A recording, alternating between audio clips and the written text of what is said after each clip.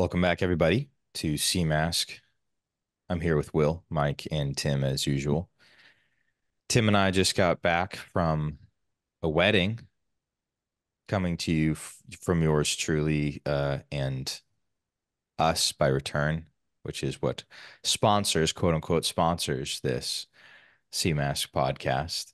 Um, we just had our first wedding, very exciting, in less than a year. So June 20th, we opened the doors for us by Retvrn. End of July was one of our first matches, and Wednesday, this Wednesday, we had the first marriage. It was a very beautiful, traditional, intimate, modest ceremony administering the holy sacrament of marriage. Um, and Will totally wish he could have been there, man. They were so they were so grateful for the service. It was the answer to many years of prayer. So, any young guys or women, we do have women who watch this channel. About 19% of the viewers of CMASC are women, which is very cool. If you guys are looking to get married within 12 months, if you're serious about this, if you're serious Catholics, uh, we have our first marriage. The second one is coming up soon. We have another engagement and we have a bunch of couples going steady. So that's what the CMASC podcast is brought to you by, brought to you by Love and Matchmakers. And so we're doing part two of what we did last week about the architects of, of romance. And uh, today I want to talk about the the schoolyard paradox, as I'm deciding to call it here. So from our time in the schoolyard, the foundation of heterosexual romantic interactions has been something like the following If a girl likes a guy, she'll be mean to him. And if a guy likes a girl, he'll dismiss her. And to violate this rule imperils the romance. And so it's sort of like an eternal game of chicken where both people are infatuated with each other and neither one's willing to express themselves first and somehow both of them collide and admit to one another their affections and a relationship begins. And as we get older this evolves into more sophisticated strategies and heuristics and rules and guidelines and red pill podcasts and books. And men and women are supposed to do follow these heuristics in order to avoid the public humiliation that they believe would have taken place in the schoolyard had the two kids been vocal about how they felt. And so these rules, these heuristics include, but are not limited to. I'm sure you guys have heard of many of these. Maybe you've even advocated for some of them, as I as I have. Uh, men being encouraged to take one and a half times the amount of time it took a woman to text him back, to text her back or to never use a particular set of or any emojis while texting. Uh, or men are told focus on your careers. Women are the accoutrement. They are not the purpose of your life. Focus on your career, and the women will find you uh, after years of success. Uh, men are encouraged by folk like Mr. Rollo Tomassi to engender dread in their women by overtly engaging in and encouraging sexual tension with women who are not their wife in front of their wife or their girlfriends uh, or to plate spin. And then on the woman's side, women are encouraged, especially Catholic women today, uh, culturally are encouraged don't be available. You always got to be busy. You always got to be hard to pin down so the guy can chase you. You got to be aloof. Or they're encouraged to shit test their guys endlessly and then men are encouraged to nag the women, which is to say to insult or be belittle them in a in a blase manner. And I believe this all sort of uh, distills into something Rollo Tomassi said in his book The Rational Male, which is that the the sexual mating strategies of men and women are mutually exclusive. It's a zero sum game. Both parties, according to Rollo, cannot succeed simultaneously. I I get the feeling from all of these rules that that is the abstract ethos of the rules. And what I find confusing and nuanced about this is that in all area of, areas of our lives as men, we are encouraged to be earnest and forthright and honest in word and deed. Our words must match our deeds. And in one area of our lives, in this area of our lives, never under any circumstances can you allow yourself to behave in perfect alignment with what's happening on the inside. So, today I want to unpack all of these rules, these heuristics, and see if there's any truth to them and what the balance between self expression and also maintaining polarity and romance is. So, to begin, just want to go around on first first reaction to the topic. Won't go in any particular order, just if any of you guys have any thoughts on that before I get into the specific. I have 12 specific points that I want to go through. Well, I think most adult, pleasant women, um, I find the opposite. It's the only time I think I'll ever disagree with you, Nick, is um, in my experience with my wife in particular and going on dates with you know, decent women before that. Um, women can't help but make it obvious that they're into you. That That's is their nature. Yeah. yeah, that is their nature. I think there is some truth to when a woman is younger that she'll try to kind of ignore you or stiff arm you because she's you know, maybe you make her insecure or you know incite some kind of a reaction in her that she doesn't know what to do with or how to deal with but adult women in my in, in my experience they can't help themselves they touch their hair they can't maintain eye contact it's incredibly obvious um, when they are they're into you at least in my mm. experience and with my wife, it was, I'll make fun of her. It was, it was very clear that was the case as well. And I think that's very endearing. It's an endearing part of female nature. They just, they're so, um, uh, you know, their state of emotionality, the way God wired them, that's, they, they just can't help themselves, which I think is a good thing. Now, in terms of how a man should express himself, I think some guys, they, they need to keep this in mind, right? the more that you've built yourself up as a man, the more, and I think I talked about this in the last in the last podcast too, the more grace she's going to have for you in your expression, and that point of origin is also important too. Why are you expressing yourself? Are you expressing yourself because you want to get validated by her? Well, that's kind of simpy. If you're expressing yourself with really not caring what her reaction is going to be, I think that's a more masculine frame, more authentic place to operate from. So, in my experience, in terms of like the texting back and and and those nuances around communication, I'd built myself up in such a way that you know I had you know the physique and the business, and uh, my life was headed in a certain direction. So, for the first time in my life, when I was dating my wife, there was no rules around this. I texted her back immediately when I could. It wasn't a game, where previously there was a game. And honestly, that game is anxiety inducing and stress inducing, and it's not authentic. And I didn't respond to her right away because I, I, I cared about her validation. I just wanted to talk to her. So I think for those guys out there, if you're a skinny fat nerd and don't have much going for you, yeah, like when you when you do stuff like that, it's going to give them the ick. That's why you know your primary focus should be your your your your purpose and fearing God, the wisdom that comes with that, your career, your physique, etc., etc. And I think game is. I don't think you will really have to worry about game at that point. I sure I never did. Yeah, I, I would agree with everything Mike just said. And I think I intoned it quite similarly privately on the phone last night, Nick. I, I don't relate much to um, the schoolyard paradox, um, aside from very, very downstream of it. uh, you have Rollo telling men to be mean to women and, and um, feminists, uh, female fem- feminists, Rollo's a male feminist, telling women to not be available. I, I agree with that part, but I, I don't think that the ex- extrapolation of the principle holds um in this way. Because I, I like I said, it's not just like the one good woman, the the best head and shoulders best woman that a young man meets, which will be his his wife, is going to be decent to him. When you go on, when you date a lot, you know, man, women in general, when you date decent women, women in general cannot help being super nice to you, being nicer to you than everyone else. This is exactly what I was saying. Uh, I even gave you some examples of, of girls I dated in my past, Nick, where I'm like, well, this wasn't the one for me, but man, she thought I was the one for her. And she was so maybe grou- grouchy in this way or always wanted to talk like theology and science in another way, but I, I didn't want to spend my life doing that. But these were good, good women. And um, when when women respect the man they're with, that's the main thing they need. They'll treat him so well. Even if you're like, eh, you don't always as the guy. I think this is an important dating tip.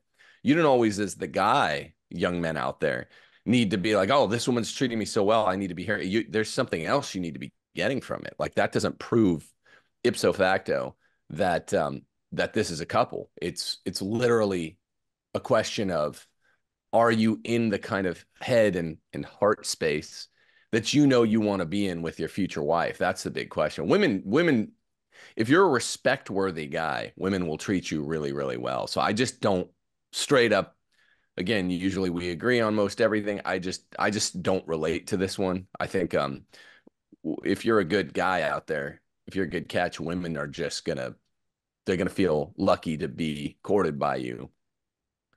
But that this doesn't mean that they're not being prodded to claim they're they're they're not available, which is a horrible thing, and we should we should talk about that downstream of it. And and men shouldn't be prodded to be mean or or especially keep their wives in dread. That's that's just horrible. This is just insecure people insecure or feminist men, insecure feminist women essentially are just population control advocates. And that's all it ends up amounting to.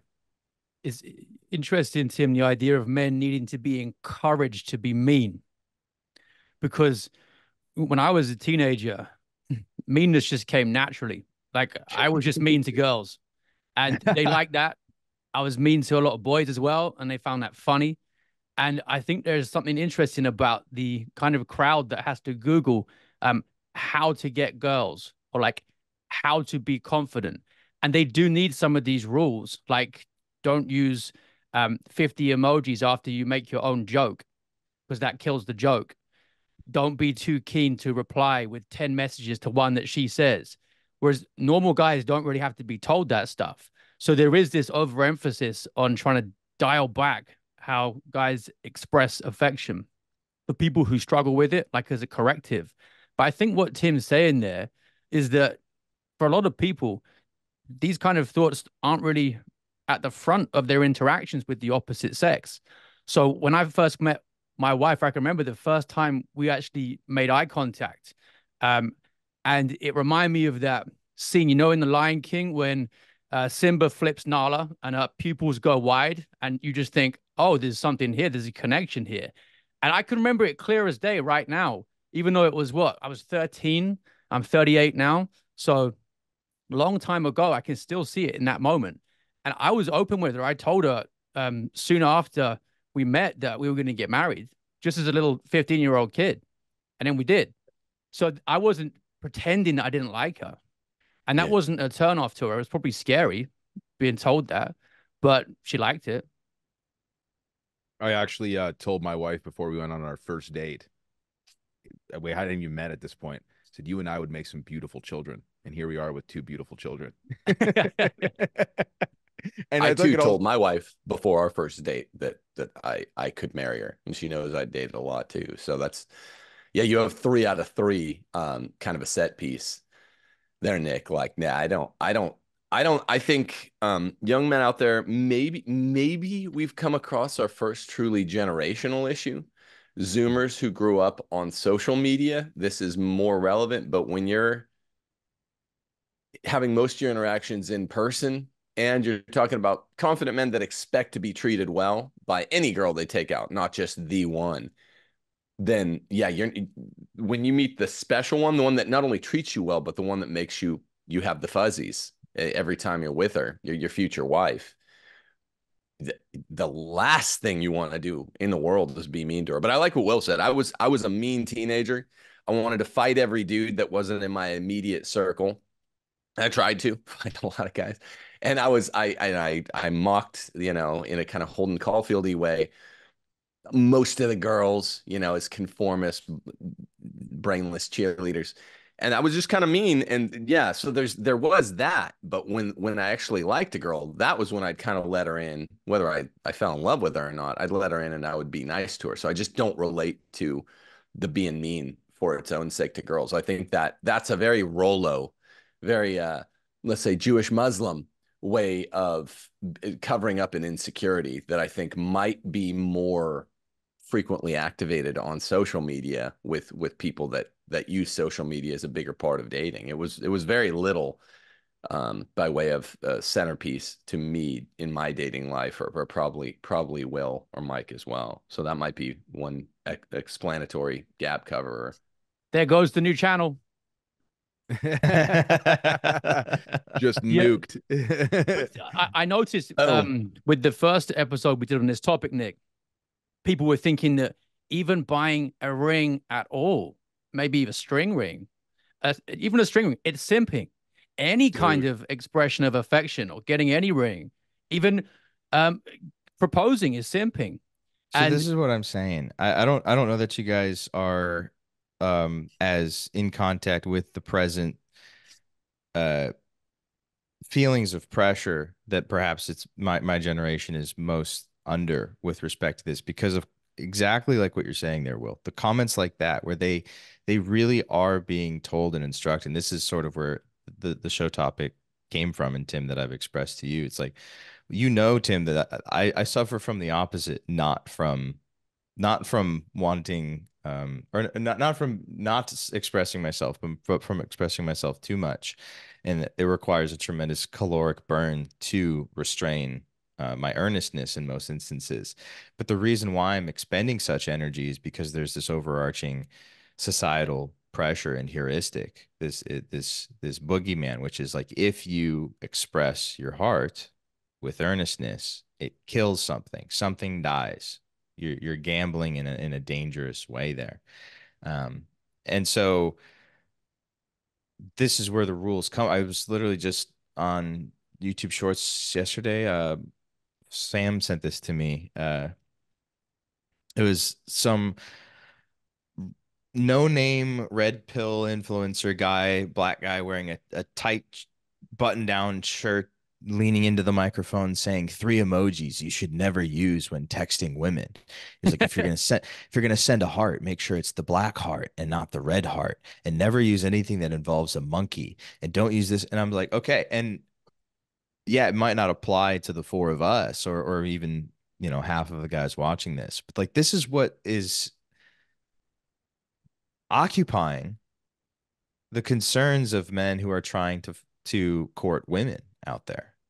Like if you if you express yourself in the wrong way, it's going to kill the romance. And I do think that there's specific rules or heuristics that are worth um, discussing. Maybe we should start with um, with women and this idea of availability. Will you look like you're going to say something? I'm just going to add in one point, Nick, just drop it in here to develop later these are the same guys who are also afraid to get married 99.99% of the time. Yes. The yes. ones who are afraid to signal that they're interested and, and show any kind of affection are also terrified of marriage.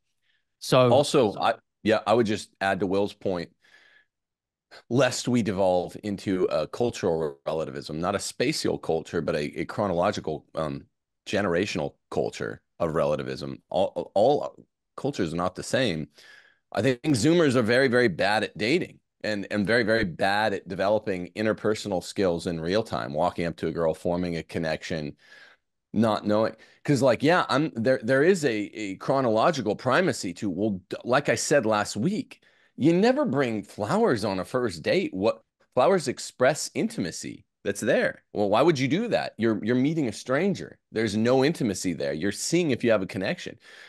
In generations past, you just understood this. But when you live your life on the internet, you're like, oh, I'm going to give her flowers on the first date. That that's retarded. And and that wouldn't have been something that you had to tell even young men who are kind of new at dating in the year 2000.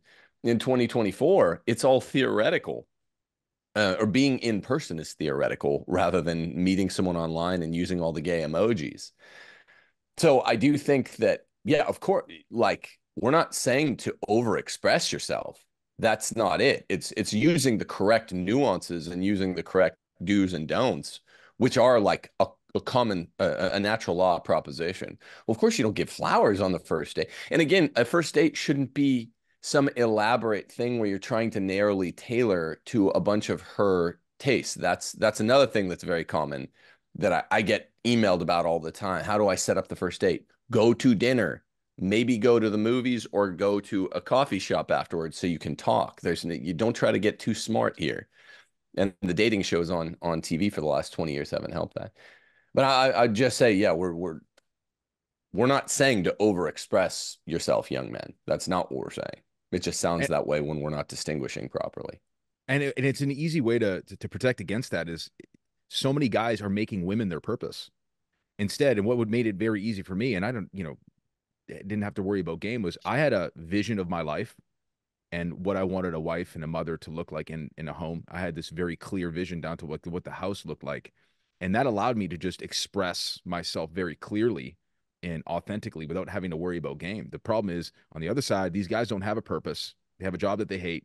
They're not. They're kind of just floating through life, and so these women become their purpose, and it comes across in the way that they communicate. And so men don't realize that uh, a woman is not meant to carry that the kind of weight of that kind of pressure. They break under that pressure and they flee. So if you know what you're doing, you know where you're going, um, you know what you want from your life. Very easy to communicate and, and not come off as a quote unquote simp. And another thing too, I've inevitably seen all of the the men in my life, the the friends that I have that have had to really, really overgame the women that they're dating. They eventually get cheated on or ends up in flames. You can only white knuckle a situation like that so long until you break or something happens, and it's just simply the wrong choice. That's well, it.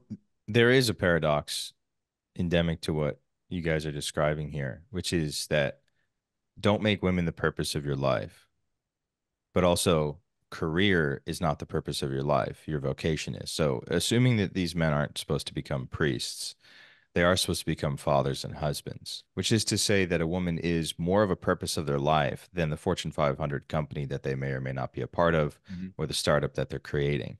So, this is the balance that I guess I'm trying to elucidate here. It's it's it's much deeper than texting. It's the fact that as a man, a well-ordered man, your telos is to become a husband and a father, assuming you're not supposed to become a priest, which 99.9% of the people watching this will not become priests. So, how do you orient yourself towards your vocation instead of a career without falling into the trap that you guys are describing, which is the deification of the woman? Well, first up, that's a great point because it makes sense of why the anti marriage red pill community. And before people say, oh, it's not anti marriage, Rollo literally says that marriage is an unconscionable contract. That means he can't recommend it in good conscience. Like it's saying, don't get married. Um, the reason they have to be so on guard against simping the whole time is because that's where they're constantly tending because they're not interested in marriage. When you're focusing on a woman and you have no intent to marry her, which is how you actually honor women by keeping them in their proper place as God has instituted things. If you take that away, then you're constantly on the edge of simping. So, of course, they're talking like this. But for a guy who's going to get married and have that as his vocation, the simping danger is not there. As long as he understands that uh, God is involved in this and being married properly means honoring the woman in the hierarchy that God has actually instituted. She's not the most important thing in his life. His career isn't either. God is. If you don't have that framing for marriage, then you can become a married simp as well. And there was a big mistake made there when marriage no longer became a, a sacrament with the Reformation. And then it descended into something that homosexuals can also have as well. And it's all about just how you make each other feel. And then you get the happy wife, happy life nonsense of feminism as well. And the man feels that the main thing he has to do is constantly express affection and try to walk on eggshells around his wife the whole time. Because what is marriage at that point, other than just how you make someone feel? So what I'm getting from that is just a you know, is, is some guys just overthink this stuff to no end. What you're what I think you're saying is the purpose is in the duty, not the person. So it's not it's your purpose as a husband and a father leading a home virtuously, keeping a woman in her proper place and respecting the hierarchy that God has instituted in the world versus the person herself. Does that make sense? I think that's an important distinction. Yeah, right. There's two levels to it. So, as a natural institution, the purpose of marriage is um, procreation, or we could put it more bluntly and just say patriarchy. That's literally it. The man is the head of the household, and that's how you build up strong societies through strong families. So, the purpose of marriage naturally is patriarchy.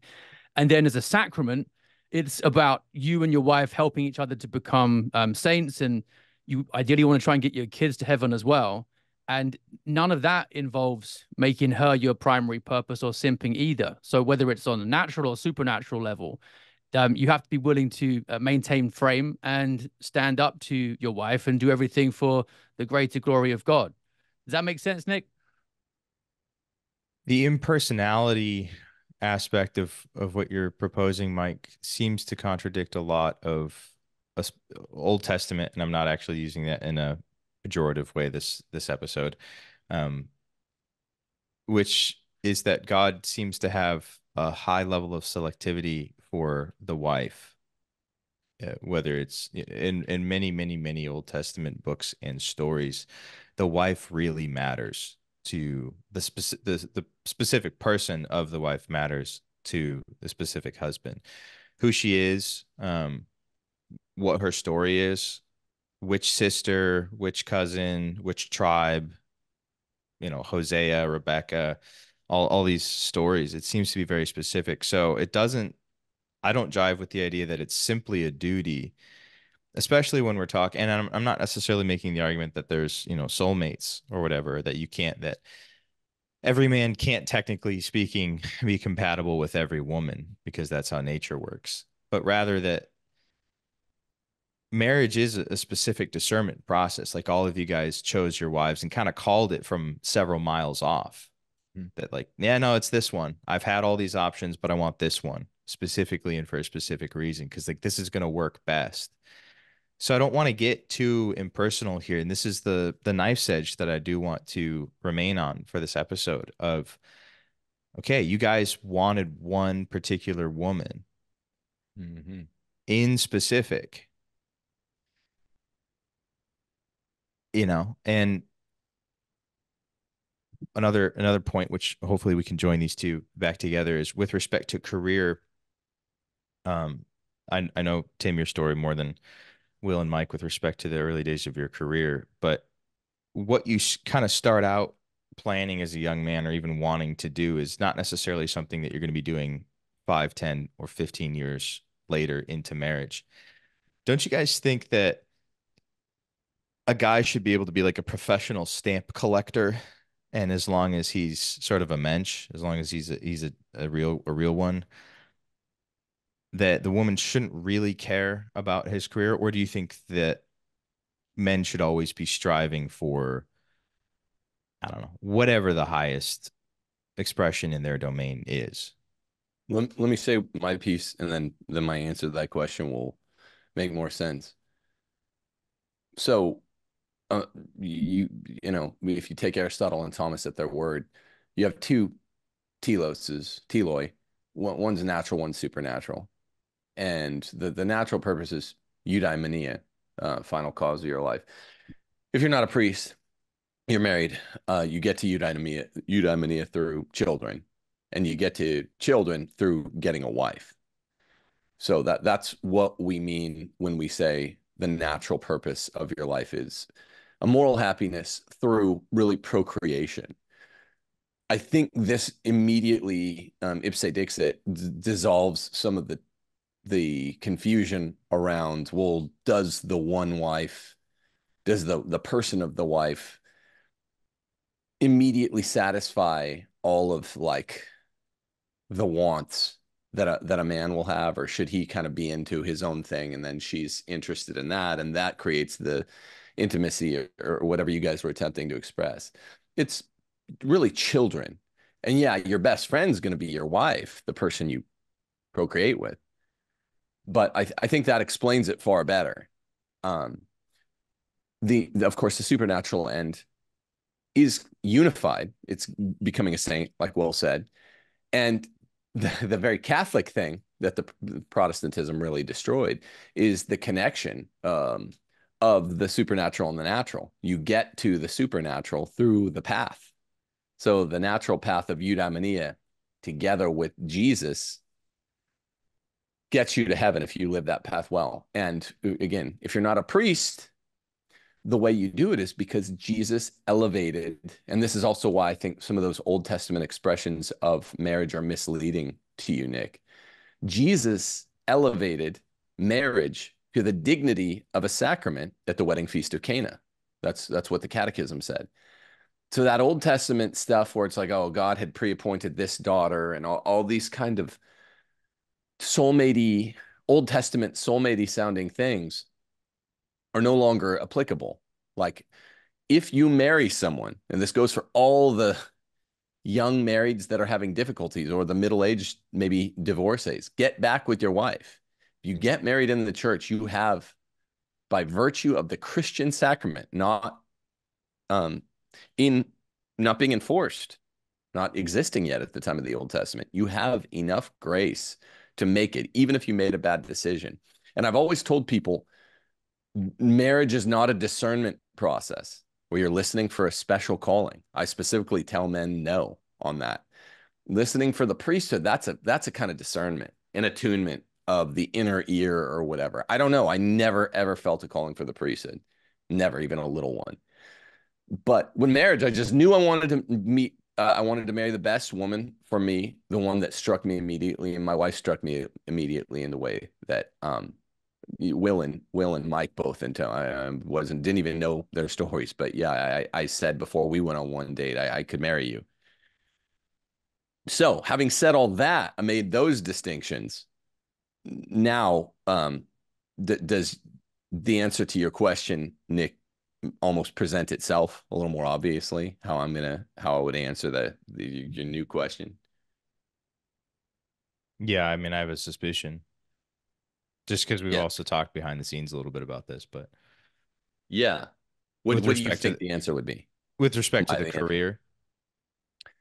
Yeah because career career doesn't matter. So do i do i do think a guy should just be interesting. He's interesting mostly for what he does, but it doesn't have to be professionally. A guy's, uh, I mean, like someone just mentioned Owen Benjamin. I mean, he's he's an interesting guy. You know, he gets gets the Trinity completely wrong, but block that for a second. It doesn't really matter if he kept being a comedian professionally. He's going to be entertaining to to live with for some woman, the right type of woman and there's a type for that that will be very interested in that, even if he stops being a comedian, which I think he kind of has, or he's just sort of a YouTube comedian on his own channel. Um, it's very Protestant to conflate your profession with vocation, and I I, I just obliterate this in um, chapter five of Catholic Republic. Your purpose is not your profession. That is pure Protestantism. Max Weber describes it in a thousand page book. Um, it, it's just no, no, no. It's very American. Uh, there's a guy called, uh, you know, um, well, I'll say this. We know it's not your profession because it has no telos. Besides, it subserves your actual purpose, which is your vocation. You can do anything to make money okay. to, to support your family, but you should be interesting to the woman. You should be interesting to the woman for your personality and the things you're doing and the things you want to do, but they don't have to be professional. They probably aren't. So the purpose, the telos of a man's vocation is to relate and communicate with his wife and his children. Well, the vocation is uh, shares identity with what we would call his natural telos. You wouldn't say the telos of his vocation. You just say literally, uh, because telos is the um, the man's goal is eudaimonia through the married life, the layman's life. And right. eudaimonia so, that way is through procreation. The purpose is procreation.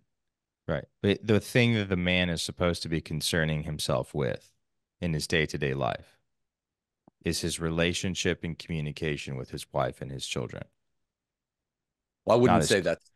I mean, yeah, all, all, of you know, it's it's procreation and getting getting you, your kids, your wife to heaven.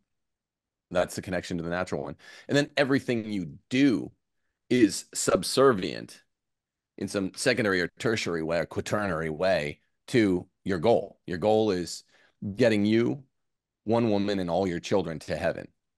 And everything you do, including profession at the base level, but which church you pick at a higher level, the kinds of activities you do with your kids and your wife, those are all in subservience to just getting them to heaven. And that will mean you'll have a nice, happy, play together, pray together, natural life on the way. You know, Jesus, Mary, Joseph, be with us on the way.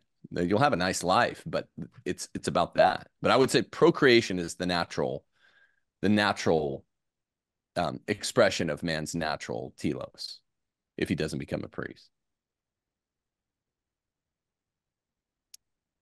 That's beautiful. That's beautiful because I'm I'm getting aspects of my old Protestantism worldview just like it's just collapsing on itself when you talked about the the distinction between uh, vocation and and career. That topic in particular is not spoken about enough. I think I just wanted to say that, Matt. Tim, amazing. I think that's edifying for me to hear that. So I can imagine the the, the listeners. Um, Nick, in the um, the Catechism of the Council of Trent, we read this interesting line, which I think might partly resolve the tension that you're hinting at here. The husband should also be constantly occupied in some honest pursuit with a view to provide necessaries for the support of his family and to avoid idleness, the root of almost every vice. So, does that help to uh, integrate where um, career falls in this vision of marriage that you're outlining here. So almost constantly occupied with actually providing for his family in some honest way, because that's just part of what marriage entails, especially as your family grows.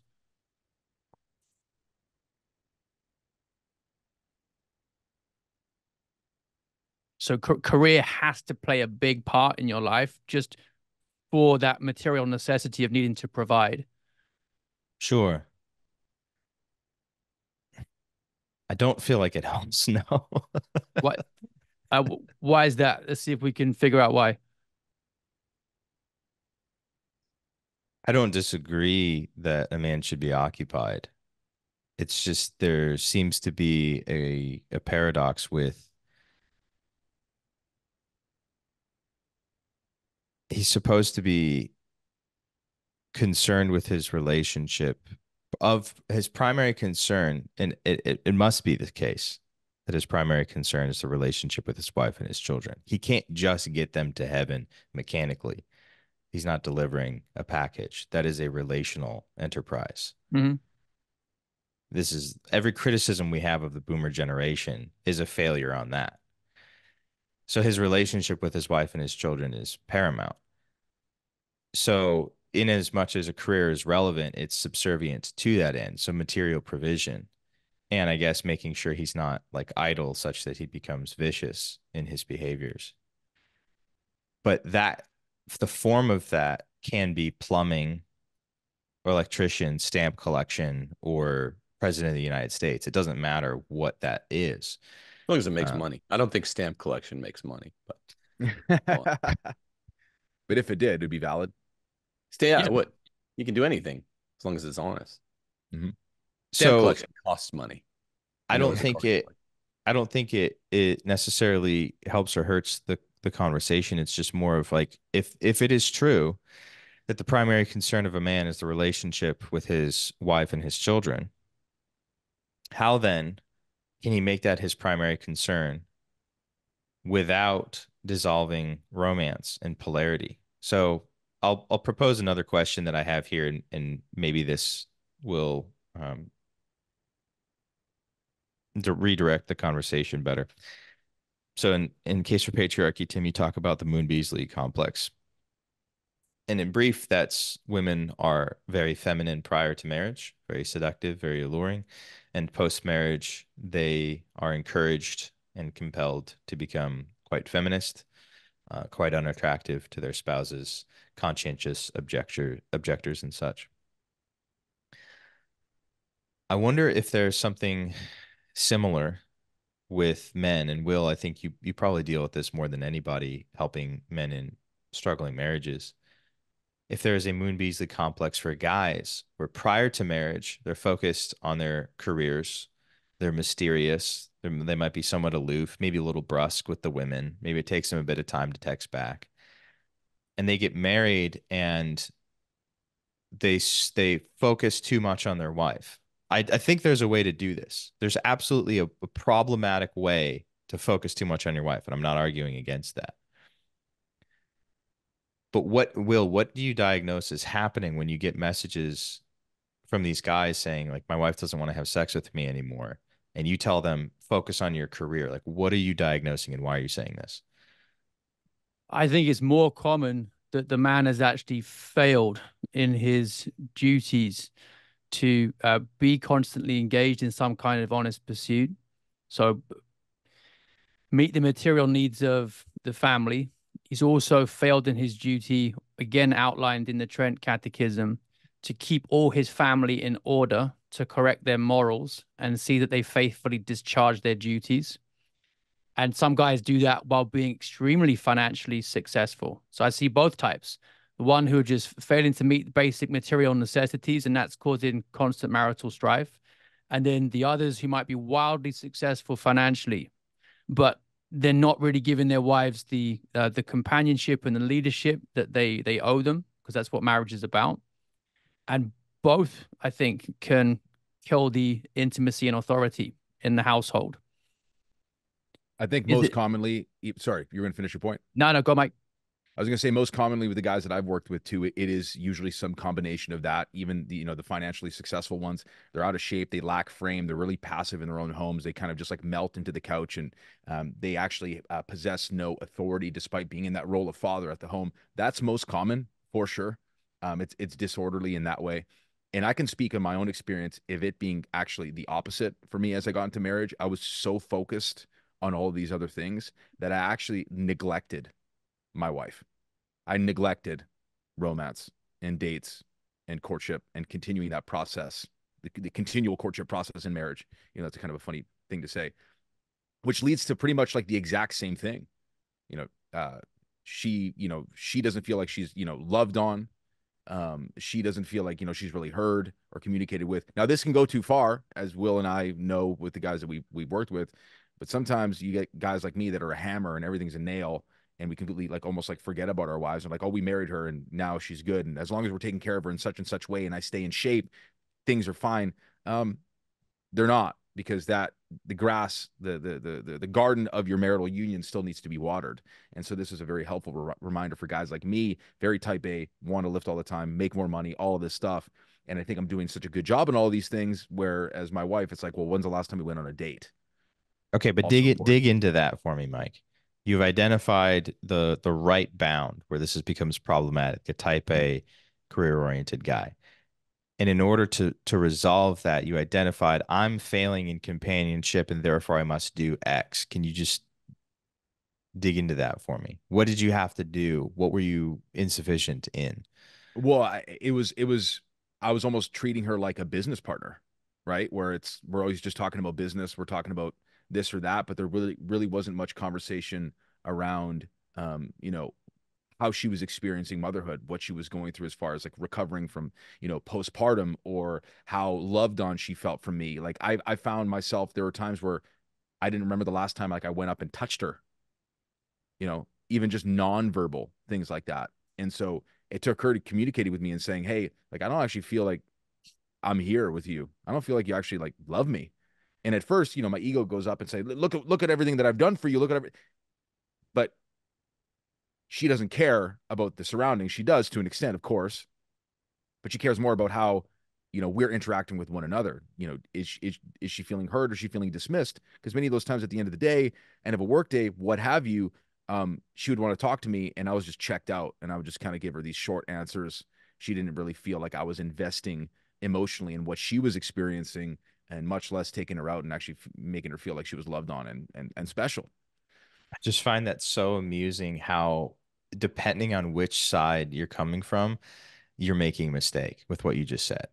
Like, if you're if you look at what you're describing with how you resolved the problem by the way i think everything that you're saying that you did is is beautiful and wonderful and i would support and recommend and do myself this isn't me. I'm just trying to explain the landscape as I see it right now, which is so you were too career focused and and in an attempt to heal this relationship and become more of a companion with your wife. You did things that so many people would classify as simping and the gay best friend and like oh you you listen to your wife you know you're you're you're hugging her now and now she's your your gay best friend sort of thing and it's like well then the opposite of that is you know you both will and mike you guys get these messages all the time. I see them when will you post them on twitter where it's like women are like on reddit anonymously posting about how their husbands are so distant from them.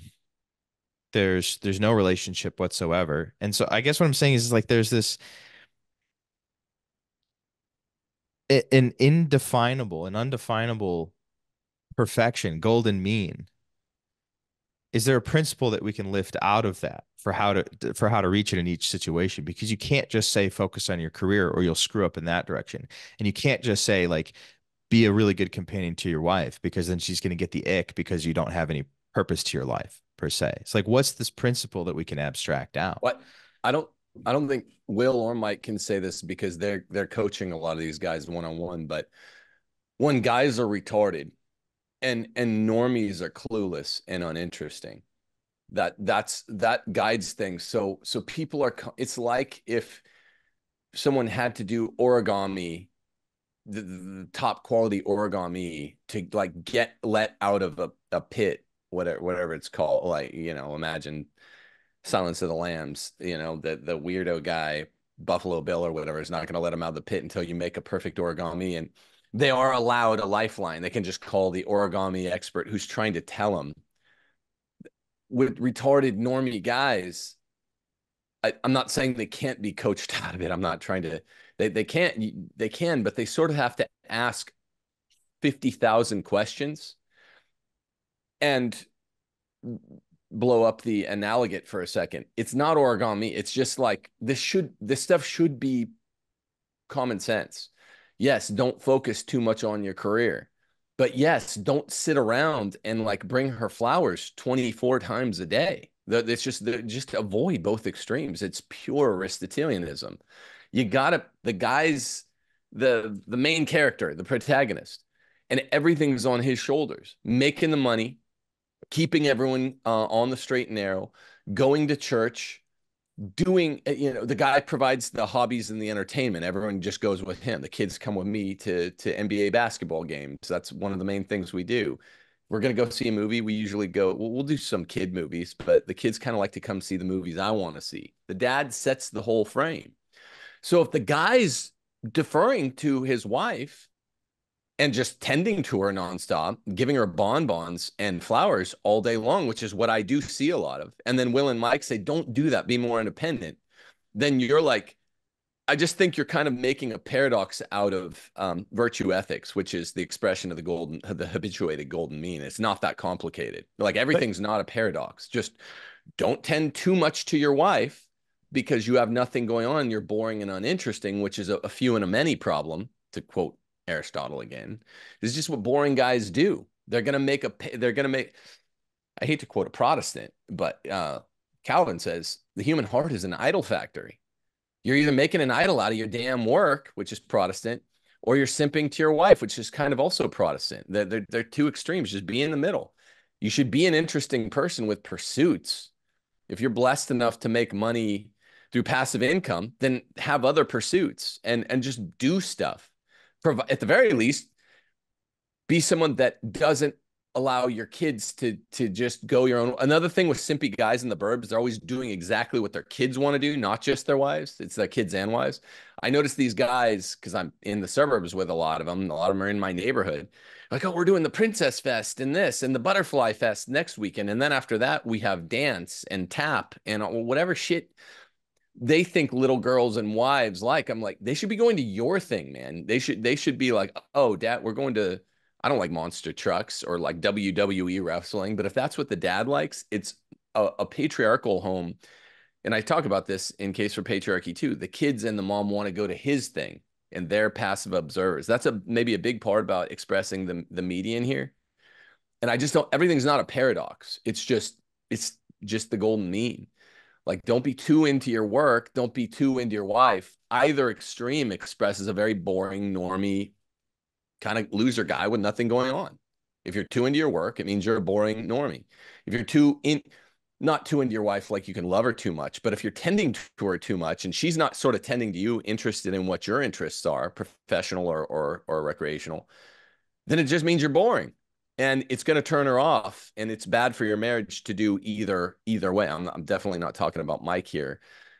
Alpha guys if they're going to err they tend to err on the other side like mike was saying. But um obviously mike mike's a very interesting guy and no one's lives their life um hovering over the mean nonstop. But i mean I, I just don't think everything's a paradox. Does that make sense? It's just it's just the geometric mean that is aristotelian. I don't think it's that complicated but the um once you allow in the the the, the secular the red pill assumption that all and any emphasis on companionship is simping then the whole discussion's screwed. Mm-hmm. that's the problem. Yep. Of course. And three I, things come to mind too. When sorry well finish your point. It's all I, good.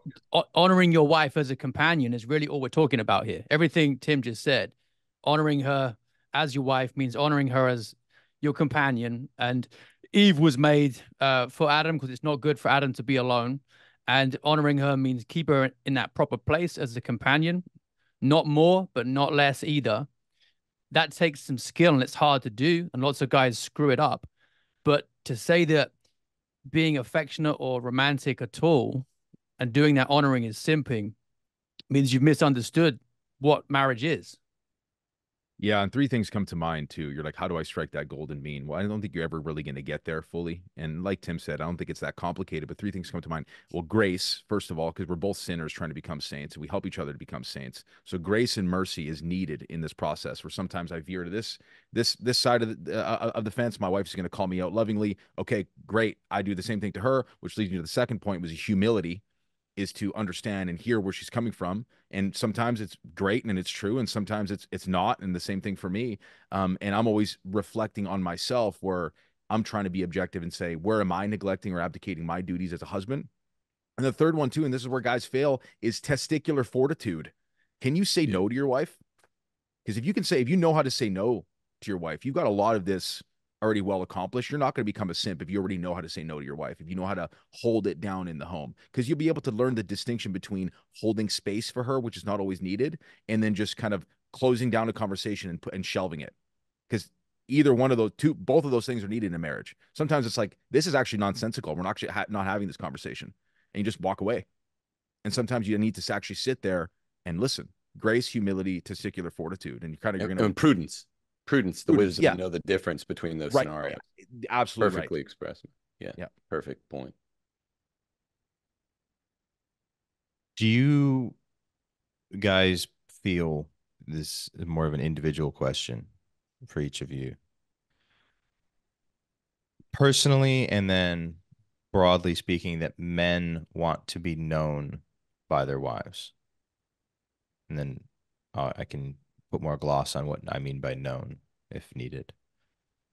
In the sense that the the woman is the glory of the man, and man is the glory of God, that idea. So people can tell something about what you're all about as a man by reading into your wife almost as your mirror. No, more more as in like be open with her so she knows us really well yeah, so the the general desire expressed by womankind is well i just want to know you you know what your demons your your sins your fantasies your fears your insecurities like i just t- tell me everything. And the the general response to that is sort of like to a kid asking how the magic trick was done. It's like, you don't, I'm not going to tell you. Because the moment I tell you all of these things, the moment you have all of that information, sort of all of the wonder evaporates. But what I'm more curious about is do you think that it is a desire of a man's heart, generally speaking, to want that level of intimacy with his wife, that that knowledge? Yeah, I think guys will open up to women in the way that they don't to other guys.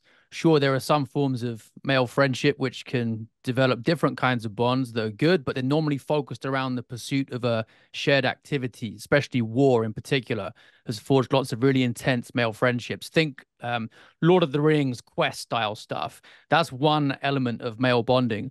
But when we think about the fact that god made a, a, a woman as adam's companion and men and women as aristotle says are not just physically but psychologically complementary then there's a potential for a deeper friendship there.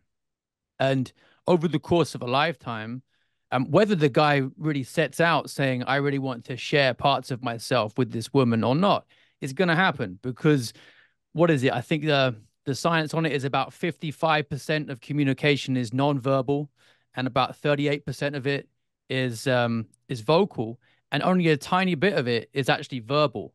So you're communicating things about yourself um, mainly when you're not even using words. And she's learning things about you just through body language and habits and how you respond to her. And she gets to know you better than any other guy would anyway, just because she's spending so much more time with you. And does that surprise us? No, because that's what the one flesh union is really about. Yeah, I, I think that's a perfect answer. I was I was gonna say, I've, Steph has never said to me that Judeo-Buddhist kind of emo thing, like "tell me everything," like that. Anyone who knows Steph would never say that, but I'm always impressed what she does. Like, there's some stuff that I think she would openly say, "I don't want to know." Like, she's had all C sections for all of our kids, and one time, the idiot like nurse led me into the room the front way, and I saw her literally spilling her guts uh, you know, I did not want to see that angle of of you know the front part of the C-section. That's too much information. Steph knows me better than anyone, and she is my best friend. But but there are times when I could express something and it would be too much, and a, a guy who I'm less close with overall would be able to handle it better.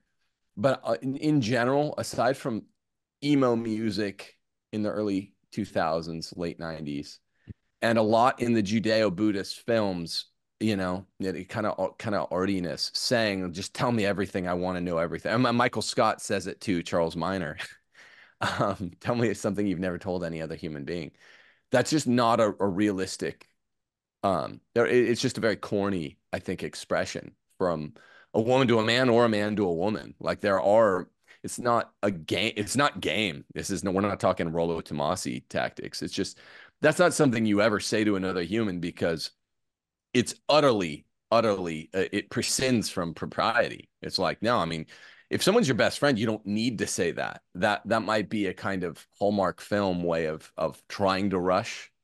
But um i think i think you, you know if you're talking about something that that's meant to be private and you hold on to just yourself yeah like fears. I mean mike and will are, are very um tough cool dudes that that have, been super honest the last two or three weeks and i'm trying to match that like vulnerability. Like i had a horrible april. In the last five years just in terms of headspace i had a, a anxiety filled april and nick you know about it. If you if i go around just focusing on how bad april was i'm glad to be in may and i, I am feeling better and you know i just over the last five years that was probably my most anxiety filled uh health conscious month uh, in a long, long time. And I'm I'm glad to be over that. But yeah, just sitting around and talking about that nonstop in like an emo way is not it's not good. It's it's good to ignore some things or to try to sublimate. Yeah, that's well said. And I think uh, my wife has never asked me the the that question ever. And I think it's just one of those things that it, it kind of just gets revealed over time and going through seasons right. with a person.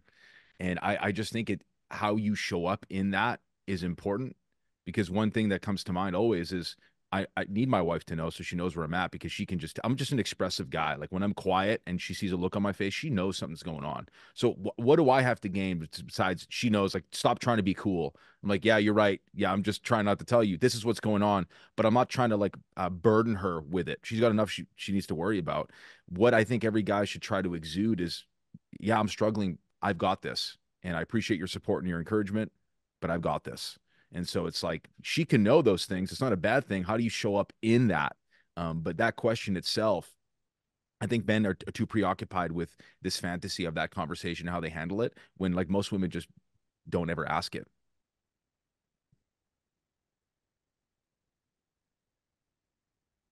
Hmm. And if she does, I think it's a bit of a, I think it's a bit of a shit test. I like find a that LARP the, or um, the- something. I think more LARP than even, or it could be either. But it's Yeah. like that.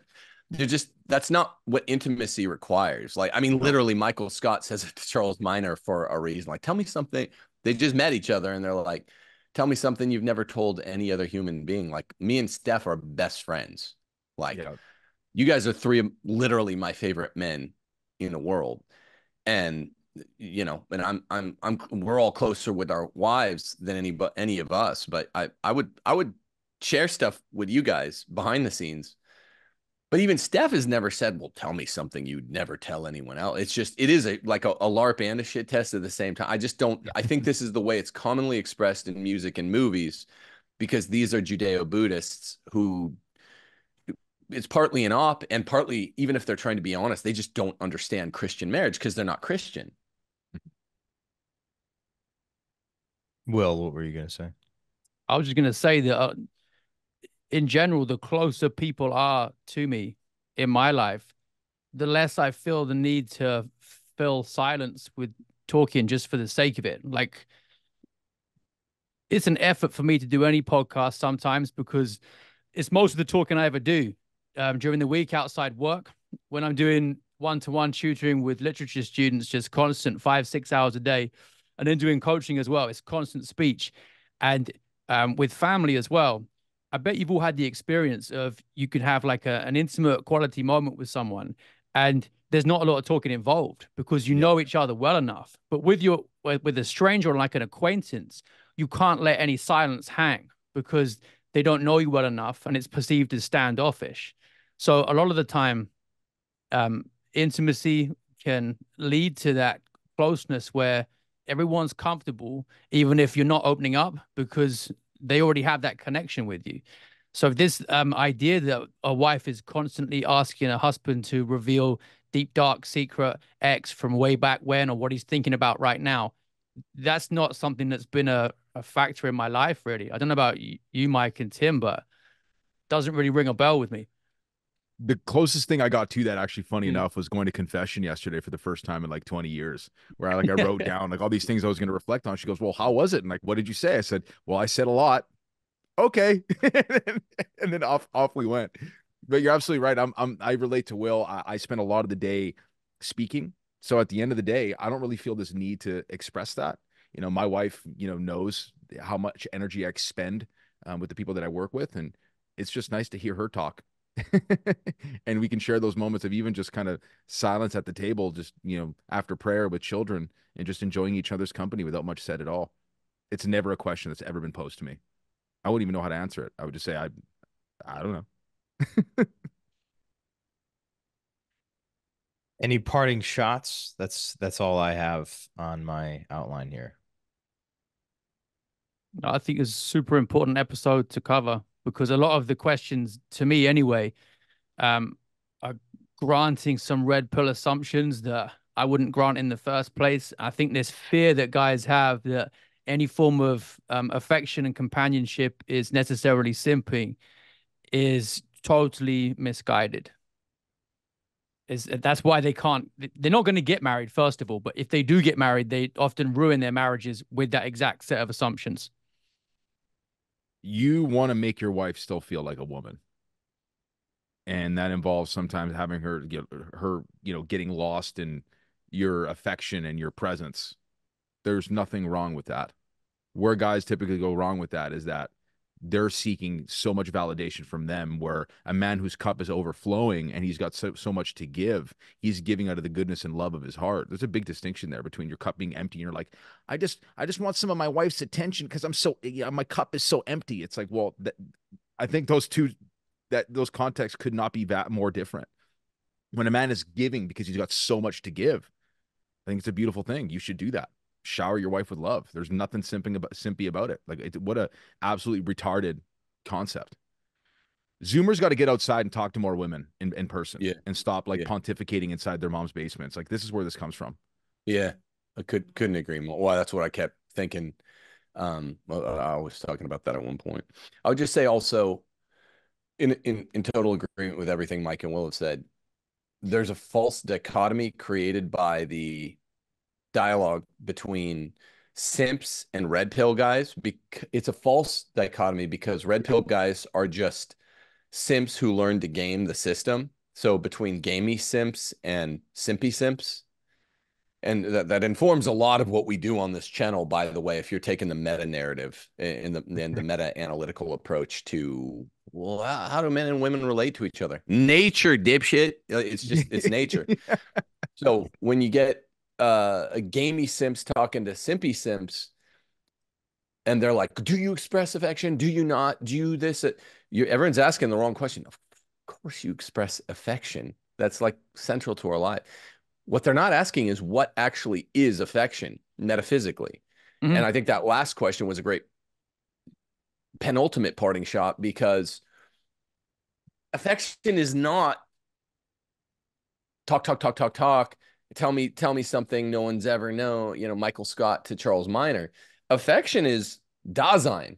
It's being there through the thick, through the thin, through sickness, through health and trying to be, you know, dignify yourself in the other through the entire process. And again, one last thing I think of with with regard to my wife, because you know I knew her in her teens. I I was twenty, but she was eighteen. And anybody with their wife, once they've actually traveled the path and they have some significant amount of the hike behind them, the intimacy is also just all that road behind you. So they don't have to ask, oh, what about this? What'd you do when you're this? What, what, you know, how did it make you feel in middle school when uh, Big Tommy pulled down your pants in front of all the girls or whatever? Like, you don't have to ask all these questions because she like Steph was there and there was no Big Tommy that pulled down my pants um, in front of the girls, but she was there for victories and losses and sorrows and joys um, over the last 20 plus years. So part of it's just creating enough intimacy to suffice for the time to keep going on and realize we have a really special rapport. You get together, then you're going to get that path behind you just by taking it, I think, unpretentiously day by day. Let's just see see what comes our day, like like the gospel says, like Jesus says, our Lord in the gospel. Don't worry about tomorrow's concerns. Today's are enough. Today's concerns are enough. That's how it is for you as a couple. I mean, like Edmond Dantes says, troubles are going to come your way in marriage. Every young married couple who are romantics are like, oh, trouble through the thick, through the thin. The thin really does fly at you and it hits you in the eyeball. And yep. it and it's scary. And life will happen to you and it feels like shit when it does. I mean, you it's scary. So life will happen. Just let a, a, a boring normal day where you're just you know, walking be be silent or talk about just normal things. Let it happen in real time. Everything doesn't have to be a production.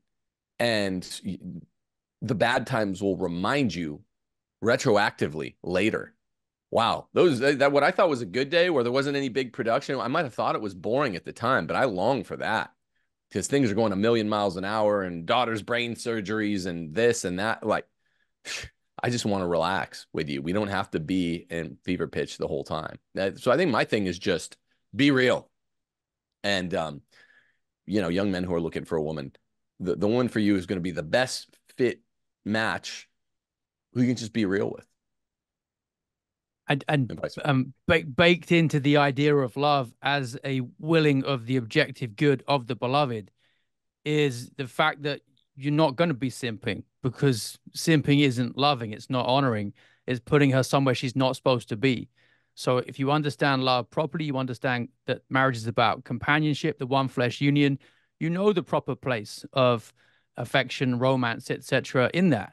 And I find it really comically ironic how the lion is often used as like the mascot of the red pill attitude to women. You know, like it's got multiple women, and if you want to be alpha, you be like a lion. And you even see in lion prides, there's uh, there's one lioness that is like the preferred one. And if that one dies, then the lion's going to mourn for months sometimes, not eat properly. So there's even like a level of affection there between brute animals that some of the red pill humans are afraid to give because they're worried it's simping.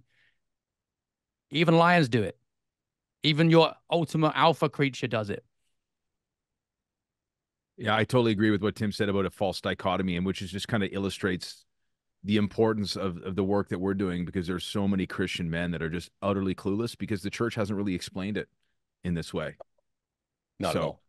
It it just it it's been such a poor example. So now there's exists these two dichotomies of the simp culture and and and or this one dichotomy of the simp culture and, and the red pill culture. And the common thread between the two of them is too is a lot of these guys are just coomers. Okay. They're walking around with porn brain. And so porn brain coupled with this like uh, lack of direction from the church inevitably, invariably leads to chaos. Where it's like, you know, if you understand that marriage is a process of becoming, it's not a destination, it's a continual path. And again, combining those elements of grace, humility, prudence, and testicular fortitude, uh, you know, I've never really had to worry about it. And my marriage is, is great. And I think people overcomplicate it and that's why I think you know conti- we should probably do a part three on this because there's probably more to be said. Guys really need this stuff spelled out. But I think if you go back and listen to the first one and this one a couple times over again, you'll realize that this sort of overarching premise is it's actually quite simple. Stop being. Buck Owens said it best: "Act natural." From my from my home hometown, Bakersfield. Act natural. That's that's like Aristotle says. Act natural. It'll work great parting shots, guys. And uh, we're solving all of those things that you listed out, Mike, one at a time marriage, pornography, simping through our various enterprises here. Yes, so sir. If you guys want to get married, go to the link in the description. And thanks for watching, and we will see everybody next week. God Peace. bless, guys. See you. God bless.